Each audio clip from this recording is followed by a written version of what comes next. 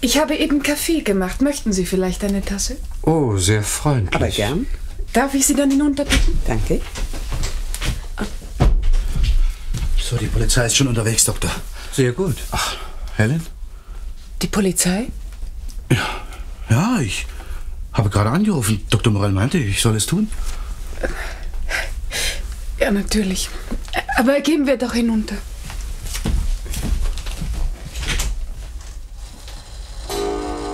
10 Uhr. Die Polizei wird in wenigen Minuten hier sein. Äh, Miss Keen, Ja? sagen Sie, Sie haben nicht irgendetwas Ungewöhnliches gehört die Nacht? Nein, Dr. Morell. Nein? Obwohl ich einmal aufgewacht bin durch ein Geräusch. Es, eine Diele knarrte hier im Flur. Wissen Sie zufällig, wann das war? Ja, es dämmerte bereits. Also etwa kurz vor sechs. Ja. Ich bin aber dann gleich wieder eingeschlafen. Dann kann also ein Einbrecher wohl kaum an Ihrem Erwachen schuld gewesen sein. Was meinen Sie damit?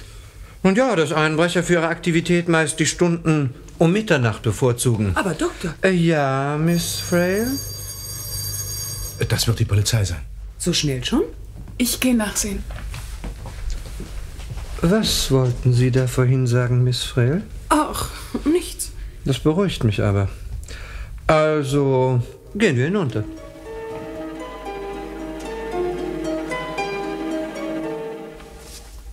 Richard, Dr. Morell, schauen Sie nur. Ja? Was, das ist doch Mutters Portemonnaie. Das aus ihrer Handtasche. Ja, der Briefträger brachte es gerade. Er sagte, es sei in dem Briefkasten gewesen, den er soeben geleert hat. Du, gleich da vorne ist der Briefkasten. Ja, ich erinnere mich. Wir kamen dran vorbei. Das ist doch seltsam, dieses Portemonnaie. Lass doch mal sehen, Helen. Ja, bitte. Es ist leer. Ja, dann hat er also das Geld herausgenommen und dieses Portemonnaie im Vorbeigehen in den Kasten geworfen. Ja. Hm, das hat so den Anschein. Ja, dann war es also ein Einbrecher. Ja, doch, dann war unsere erste Annahme also richtig. Aber Doktor, ich meinte... Ja, Miss Frail? Nichts. Name und Adresse deiner Mutter sind innen eingedruckt. Deswegen konnte der Briefträger das Portemonnaie auch gleich zurückbringen. Dieses Portemonnaie ist sicher sehr nützlich für die Polizei. Schon wegen der Fingerabdrücke. Nicht wahr, Dr. Morell? Oh nein, aber wahrscheinlich sind jetzt alle Fingerabdrücke verwischt. Ja, ja, wahrscheinlich. Das ist jetzt sicher die Polizei.